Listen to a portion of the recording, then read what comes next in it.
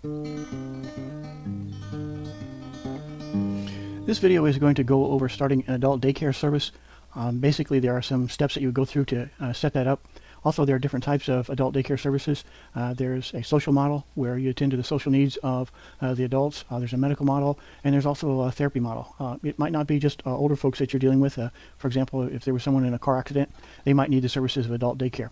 Also, depending on the Medicaid plan that you're working with, you would probably get a Medicaid waiver.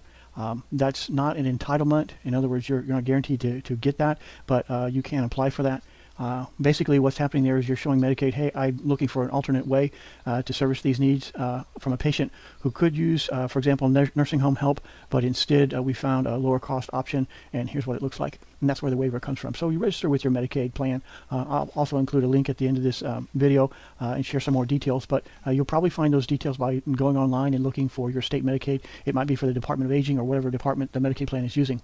Also know that um, in many scenarios, probably most of the scenarios when adult daycare is being provided, uh, they're billing the patient and not really the Medicaid because uh, with adult daycare, um, you might have 20 to 40 different adults in one facility, for example, uh, and each of those uh, are going to be charged personally uh, anywhere from 1,000 to 2,000, in some some cases $3,000 a day, depending on you know what their income level is.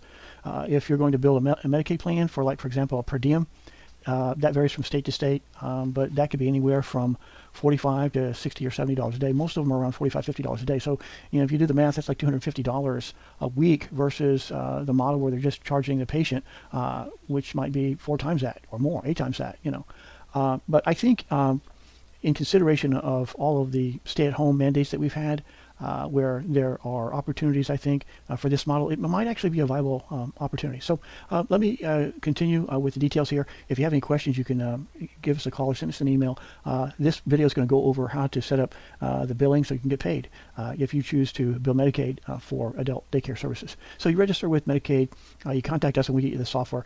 patient entry is very easy. I'll show you that. And then you start sending your claim requests, and we convert that to 837 claims and send those on to your state Medicaid. Um, and, and, that's really uh, just uh, that simple. And so with that, I'm going to go ahead and jump into the software program that we're using uh, to do that. And this is the software program here. Basically, you enter patient information. Uh, it's divided into three separate sections. There's a patient segment section, and then an adult daycare provider section, and then um, your, your, payer information.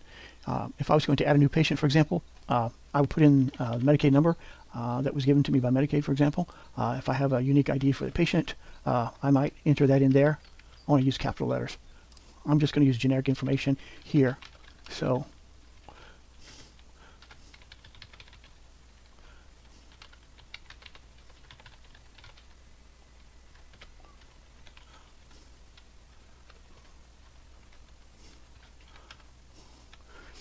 Now, you'll notice there are green boxes here. What I've done is that I have uh, specified those fields that are mandatory. And uh, so you need to fill them in. So you need some kind of a date, a signature date or Medicaid eligibility begin date, for example. And you put that in there. I use this reserved word range bill uh, to indicate that this patient is to be billed automatically um, each week. So when you're entering this patient in, you're going to put in all that information, uh, EIN or SSN, depending on you know, the provider. Uh, and then again, I'm just going to use generic names here.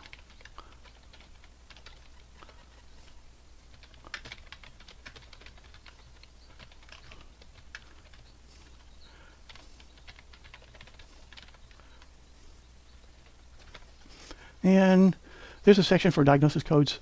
Mm, I've included some diagnosis codes here which are generic. Uh, use whatever is applicable for you uh, from your ICD-10 uh, code sets. Um, also, I've included uh, an enrollment status, and uh, this is automatically filled in uh, whenever you create a new patient. If you have left something out, for example, and you go to save the record, you might get an error message. You must include the number of visits scheduled. So if you miss something, there are some light edits. Usually with daycare services, it's between two and five days. Uh, I don't know of anyone who does just one day. So you need to put that in there, and I'll show you why in a little bit. Also, uh, if your Medicaid plan allows it, um, you know you can also enroll with an 834, and this software will help you do that as well. So uh, I'm going to save this patient record, and then I'm going to return here, and I'm going to show you enrollment really quick. It's, it's actually very very easy. You just press the button, and that's it.